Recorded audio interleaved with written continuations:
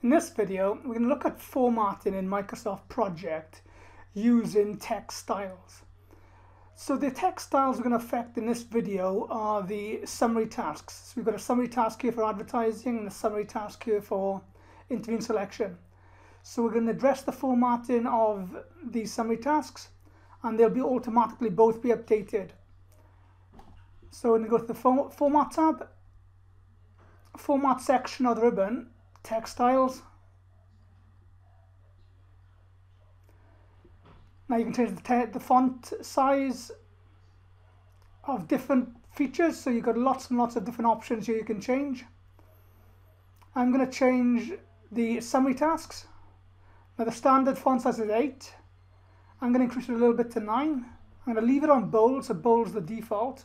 I'm going to leave it Arial. I'm going to change the font color to blue and the background color to a, a light goldy color. And now OK. So when I click OK, that will then mean that the formatting for both of the summary tasks will update themselves.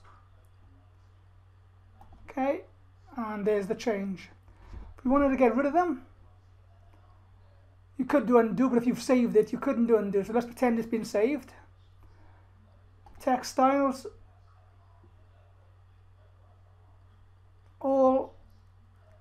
summary tasks and then you've got to make the change. So you can always go for the color automatic color background automatics this is the default settings. And the only thing you'd have to remember is if you change the font size. So 9 I can change back to 8 then OK and there's the change. So I'm going to change it once more to leave formatting on. So text styles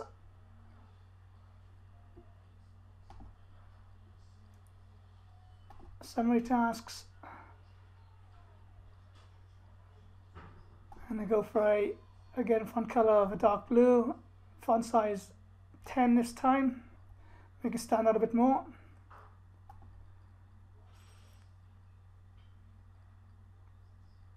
And go for a light gray background. And then okay so now we can see what the formatting will do every time we we now insert a summary task. This is the way the formatting will appear. And this completes the training video on formatting using text styles. And in this example, we updated the summary task, plus put it back to its original settings, and then finally put some different formatting on the summary tasks. If you enjoyed this video, make sure you like and subscribe to our channel. Hope to see you for the next tutorial and thanks for watching.